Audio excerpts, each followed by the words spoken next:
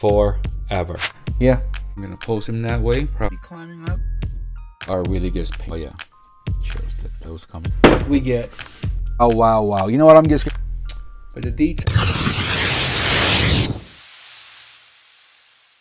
Yeah, I know. It's Friday. I can't believe it, right? The days just fly by. It's time for another unboxing. Thank you for tuning in. If you've never been here before, I do a lot of unboxing. Um, mostly Hot Toys, but I do Star Wars, um, DC, and Marvel. Yeah, I know. I used to be just Star Wars, but you know what happens. Like I always say in my video, once you get one Marvel, it's over. Once you get one DC, it's over. But today we have Ahsoka Tano, Star Wars from the Clone Wars TMS 021, 1 6 scale collectible figure. Let's check out the box on the side. We've seen this before. Um, the cigar wrap kind of style on the side. Let's see here. Let's get this up. see how it looks here. For sure. Yeah, I can't wait for that. Inside box art normally is better than the outside. I don't know about this time. It looks kind of par a little bit. But still, Ahsoka Tano. My very first Ahsoka Tano. I did pre-order the Mandalorian Ahsoka Tano though. God knows when that's coming, right? But for now, I've had her in my collection, sitting.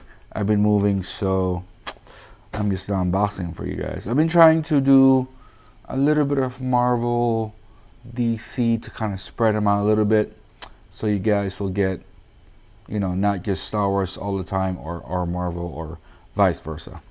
So yep, um, looks like we have another clamshell style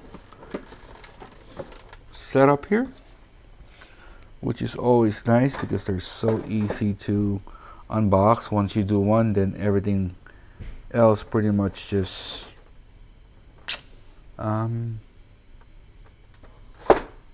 gets uh, done easily. I also like it when you have this um, extra tray on the side here that has some of the smaller um, accessories so that you can kind of avoid dropping them or losing them right in the front here. You already know we have the um what you call instruction sheets that is probably the only instruction sheet that I ever read because it does kind of help you out a little bit as to you know how to um, install certain accessories or which sometimes you have to remove the head to put the the robe or the cloak so yeah it's definitely I definitely recommend at least taking a quick peek so you know what to do and you don't have to worry about um, breaking anything so it looks like she came with a lot of um, hologram there. Um, let me get all the accessories out of the box so that we can take a closer look of everything she came with. And uh, we'll check them out, see how epic they look. You already know. You already know she's going to be epic. Okay, that's everything she came with. Not a whole lot, right? Um, just enough, maybe? Let's see. According to the website, she is approximately 29 centimeters tall um, she has seven pieces of interchangeable hands, including one pair of relax, one pair of lightsaber holding hands, pair of gesture hands, and one right fist. Um, each piece of head sculpt is specially hand painted, which we'll take a look at in a couple minutes here. Um, as for her costume, she has one gray colored poncho with weathering effects which we'll take a look at the table right now. Um, finely tabled navy blue and gray colored tunic with attached apron, which is she's wearing right now. A pair of navy colored undersuit, a pair of navy blue colored gauntlets with 4M gloves, a pair of silver colored knee guards, um, one pair of silver colored calf guards, and a pair of black colored leather like boots. For her weapons, she has a pair of blue lightsaber and a pair of blue lightsaber blade in motion, which is um, the one that right there. Right, accessories, thermal detonator, um, holo projector, which is that thing right there, but we'll take a closer look. Um, and she has a hologram figure of Anakin Skywalker, Obi-Wan Kenobi, Yoda. Um, I know this thing here is the one you use to kind of move her eyeballs, which is kind of cool, kind of like Darth Maul. So yeah, um, that's it. That's all she came with. So let's see the detonator first. There. It looks really good. Not much weathering, but paint app is really good, as you can see. Um, this is the projector where you put, um, let's see, let's put Obi-Wan Kenobi in. This one, you just kind of like, there's a peg right there and you just kind of peg him in like that. I think it's similar to what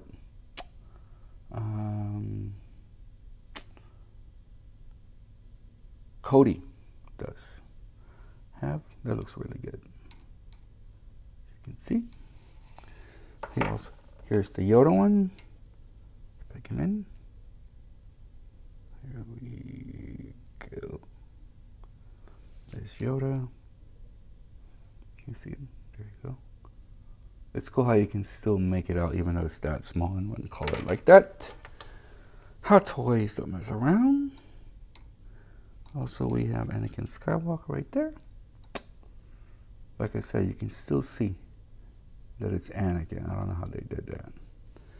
Pretty cool. Um, let's look at the poncho.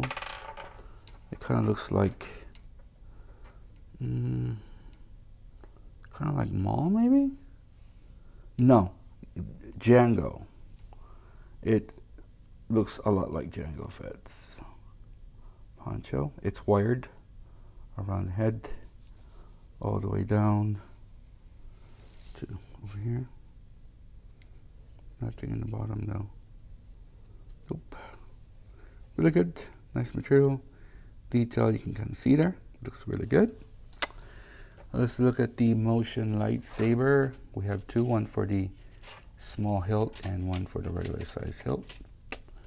Let's check them out. I don't think these ones um, actually lights up. Guess I didn't see any batteries. There you go. Looks good. Kind of fade from green to almost clear right there. Same thing on this side. And we have the lightsabers right here. Real quick. The weathering on this one is really good. All around, There you go. And here's the regular size one. And already you know that it just pegs in there. So you can put the motion. We also got some extra ball joints there. And um, I am not sure what these are for, but here we go. Let's look at the hands. Like force, like mind control kind of Obi-Wan Kenobi. That's, let's look at the pair of, right there. Looks good. The guard is pretty weathered. Paint app looks amazing for the lightsaber hands, holding hands. This one is a fist, a close fist. Right hand. Really nice. Good. And this is for what um, you would use to hold the holographic. Right in her hand like that. Okay. She came with the generic stand that everybody loves and wish we keep getting the same exact thing. Right, so we can have like a million of them. Here, here comes the waist grabber. They're adjustable and it pegs right in a hole right there. Um, so I think that's all the accessories she came with. Let's bring. Should I attempt to get all this plastic without embarrassing myself?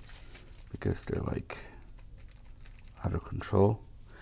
Yeah, they're out of control. So I think you'll be better off, like, uh, oh, we'd be better off if I pause the video, remove all the plastic, and then uh, we'll take a closer look. Man, I'm so glad I paused that because, man, that took two weeks to do. No, it felt like two weeks, but no, it, it, it definitely, you, even when removing this, normally you slide off, no. It wasn't fun. You have to remove the neck to get the neck part out. Um, same thing for the hand. Um, her head hairpiece is not, it's like there. So you already know you're not going to get a lot of articulation on the head. Not really. Um, let's look at the, I kind of like the material on her legs though. It's really stretchy. And double jointed, careful. But she goes about that far. Let's see over here. It's kind of like Rey, so be careful on bending that. We don't want any ripping on that one. After a while, I don't know how that's gonna stand. I, I, I like it how this already came. With Rey, you had to, what you call, um, slide those forearm guards. But let's look at her face. Insane. The paint av look amazing. I'm just gonna be quiet. I'm just gonna let you see and look at all the details.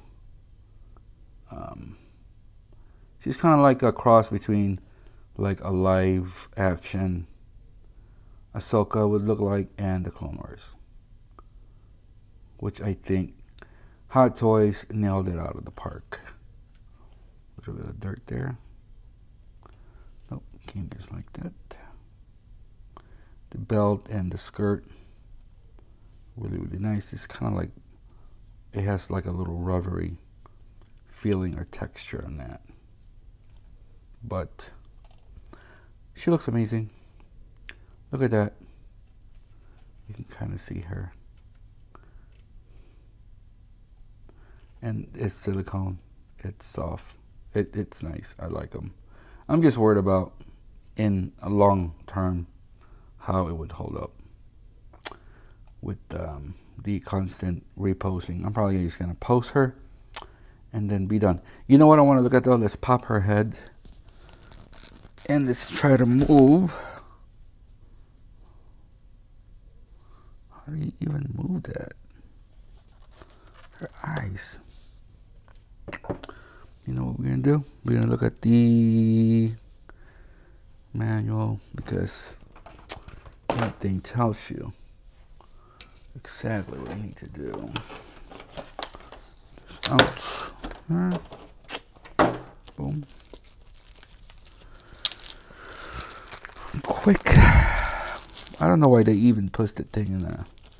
Put this thing's on plastic because it's ripping them out. Let's see. Oh, you kind of remove the face. Just like that. So you don't actually 110 degrees for the elbow. So you actually just remove the face. How in the world? Okay, I see it. Man, that's kind of weird. Just kind of back out. Oh, that's kind of kind of scary a little bit. Is that really it? Yeah. So you like pull this back. That's so weird, man. And that's how you access hair. Or you the eyes. But I kind of like how she look at now. So you just kind of put it in there, and you just move them around. See, I already moved it. That move it a little bit. This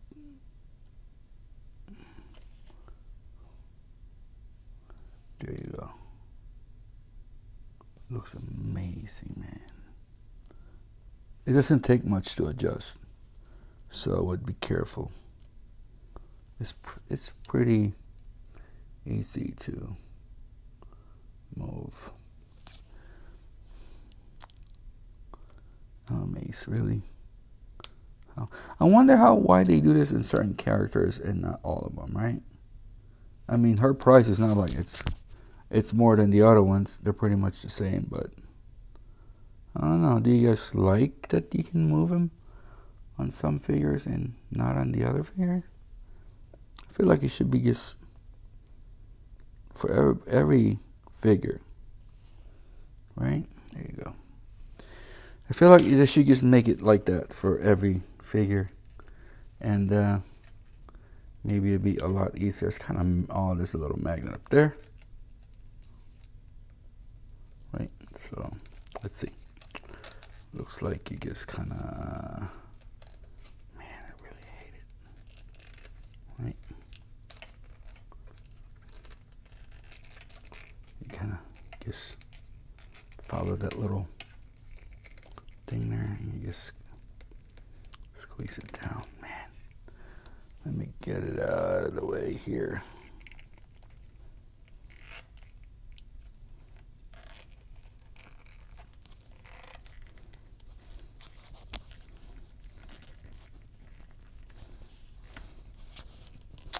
All right, there it is. It's kind of weird, the whole process while you take it off.